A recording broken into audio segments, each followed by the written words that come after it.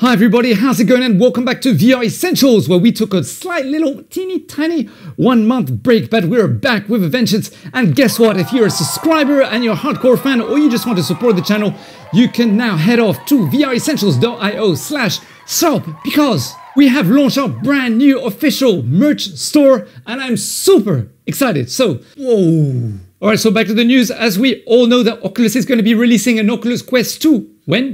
I hit the function, hit the rose till I hit Apparently, it has been leaked on the Walmart website that basically it might be a 256 gigabyte of a beast. Can you imagine for 399 US dollars or a 64 gigabyte for 299 US dollars? So Either way, it's going to be pretty cool for the industry. Of course, we don't know the specs as we spoke, my god, a month ago. Can you believe it? It's been already four or five weeks since the last video. We did a live video all about everything that we knew and what we could speculate about the Oculus Quest 2.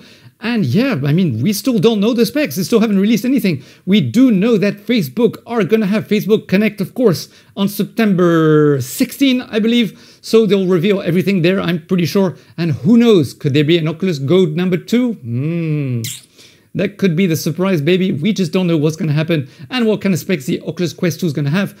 Am I going to buy it? Uh, honestly, if it's not going to be any better than the Oculus Quest number one, no, I'm just going to stick around with the first Oculus Quest. In fact, I wouldn't mind buying a, don't tell anyone, don't tell Oculus, but an HP Reverb G2 would be, actually, I wouldn't mind trying it out and seeing what happens with it and how good it is. By the way, have you tried this VR app? Because it's pretty cool. Check it out.